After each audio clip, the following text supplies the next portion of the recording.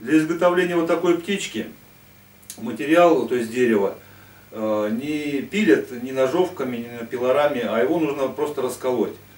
Для этого я изготовил инструмент из рессоры. Это такой клин, вот при помощи которого я колю дерево. Примерно вот так.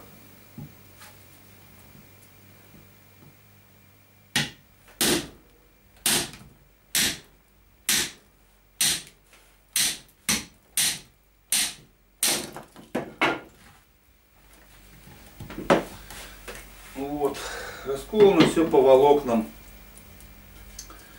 Ну, теперь идет дальнейшая обработка и в итоге получается такая нежная, изящная, легкая птичка.